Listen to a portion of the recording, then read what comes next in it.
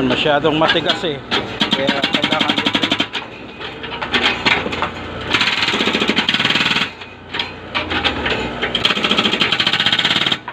Tigas ang lupa rito.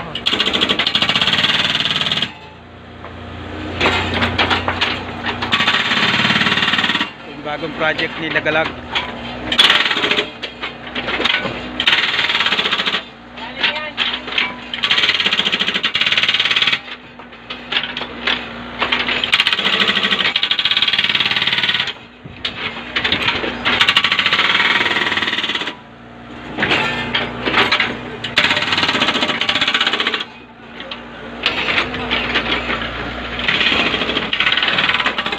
Lang yung bahay ni Lagalago.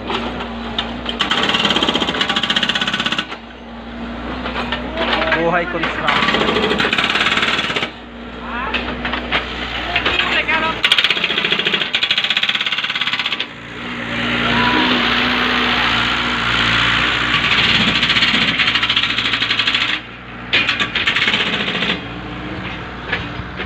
Masyadong malalaki ang foundation.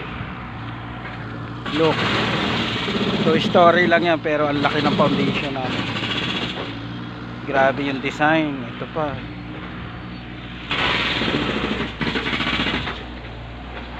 Two story imagine 17 columns. Grabe. Tibay ng bahay na.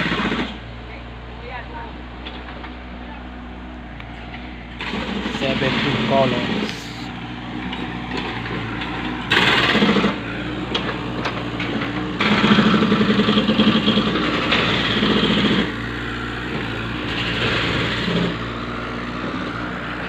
Ito yung ginagawang staka ng materyales.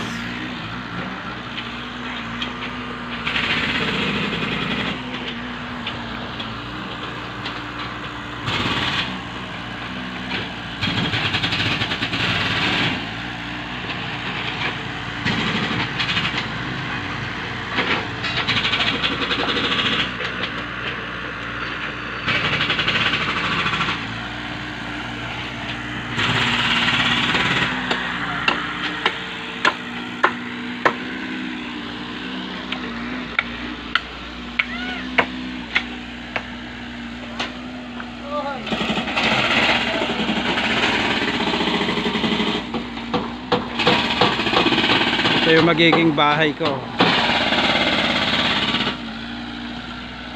Bahay-bahayan nila galagyan. Limang buwan.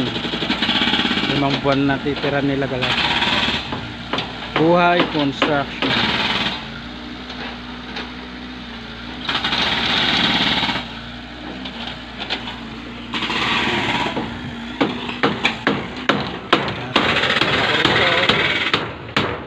Ito yung dito ako matutulog. Yan. Meron akong aircon. Ingat, charot.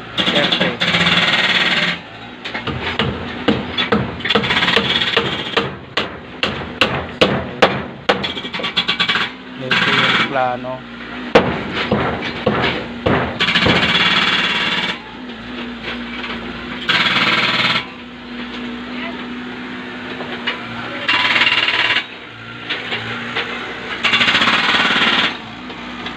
Thank you guys.